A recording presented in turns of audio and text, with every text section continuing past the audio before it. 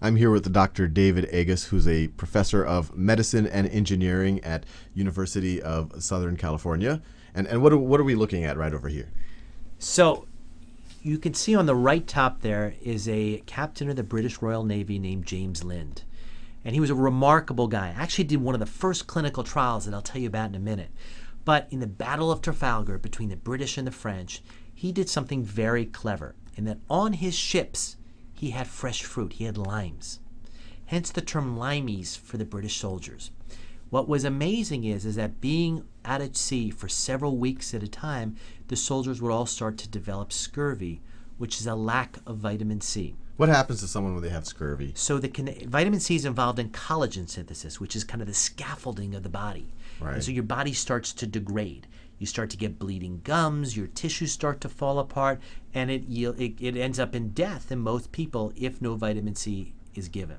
I see. All your connective tissue in your body starts to degrade. Literally can't, starts can't to degrade. Rebuild itself. Wow. So in the late 90s, I was working in the laboratory and I read his book. It's called A Treatise on Scurvy from 1746. Wow. And in it, he said that uh, uh, uh, talked all about doing autopsies in people with scurvy. People my age, and I'm in my 40s, have never seen scurvy ever. Right, right. So it's the first time I ever heard about scurvy and what it looked like was reading it. And what he mentioned was that the brain was always intact in people with scurvy. So when I looked to identify how vitamin C worked in the body, what the transporter was, the first place I looked was the brain. And science had kind of overlooked looking there for this transporter because nobody had read the book in a long time. When we cloned, which is identified the gene to allow vitamin C to go in and out of cells. And it's a pretty cool molecule because the vitamin C that you eat is called ascorbic acid. Right. And in order to get into cells, it has to be converted to another molecule called dehydroascorbic acid. Okay. But what's amazing is is that in t- the medical textbooks, as late as the 1920s and 30s, they still called scurvy an infectious disease, because at the end of his book, he put a paragraph where he said, "I happened to sell the extract of lime to prevent scurvy, and it Right. didn't work."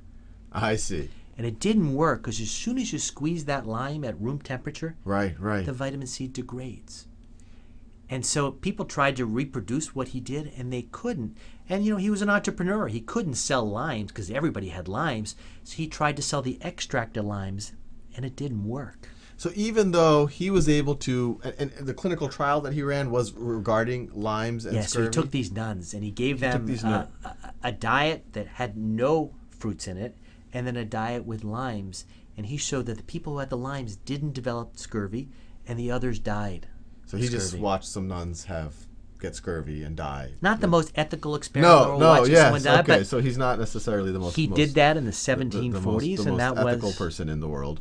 But but but he he he learned that oh the limes will at least pre- it seemed prevent scurvy or right. lack Because remember, the what a vitamin is, and this is key. Yeah. What a vitamin is is something the body can't synthesize enough of. So, for example, a mouse Right. has an enzyme that allows it to synthesize vitamin C.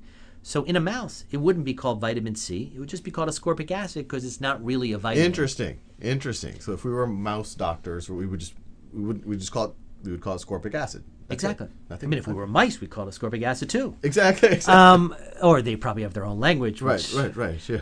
But uh, uh, but in all of us, we have certain things that we have to get from the outside, from food, Right. and those are called vitamins and minerals. Right. So a vitamin doesn't mean that more is better. Right. It doesn't mean that it's good for you. It just means that you require a small amount of it, and your body can't synthesize it. So, so this guy right here, he does the clinical trials with the nuns. He figures out that lime, people who have fruit and who have lime, they're not getting they're not getting scurvy, and so he sends out a bunch of lime with the British, the the, the Navy mm-hmm. uh, during the Napoleonic Wars, mm-hmm. and and that's why they're called limeys, and that's and and and and. I guess apparently they, they won the war because of that. Because once you're at war, you're several weeks to sea, at sea. The French Navy is getting decimated because with scurvy, Right. Because they're not getting they're eating dried, they're mm-hmm. eating beef jerky or whatever else they might be eating. They're not getting fruit, and it was really so because of that discovery, because of that discovery, that the British won the Battle of Trafalgar. Exactly. And I mean, there are two lessons from it. One is, you know, you can't just say generically lime. It Right. doesn't matter how the fruit is, how it's cared for. Right. You know, once he juiced it and put it at room temperature, it was all Right. gone. Right. So besides the fact that this guy did a clinical trial that, that was that you know killed a bunch of nuns, he he also said, hey, this is a business opportunity. Right. I, I've just shown you know, maybe he felt that he didn't get you know compensated properly for saving the British the, uh, fleet from Napoleon, and says I'm going to make a business out of this, and so he he decides to start taking lime juice extract Mm-hmm. and tries to sell it as a, as a cure for. Cur- uh, well, what happened? Why didn't he become rich? Because it didn't work. Once you squeeze it out of the lime, Right. it degrades the vitamin C. Literally, it's called oxidizes.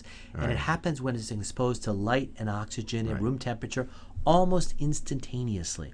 I see. So what happened was is that when the when the, the soldiers were eating the lime in their whole form, sure you might chew on a little bit, you might cut it a little bit, Mm-hmm. but there's whole pieces of lime that were not exposed where the vitamin C wasn't exposed to the air or whatever else that actually got into someone's system. Exactly. There's a reason Tropicana, when they sell you orange juice, it's in a cardboard container that gets no light in and it's refrigerated Right.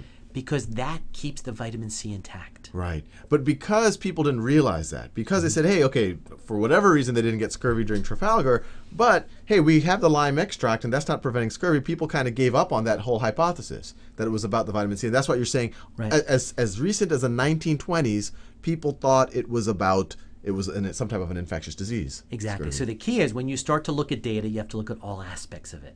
Wow. And somebody smart sort of looked and said, listen, how he did his first experiment was different than what he was selling and trying to validate.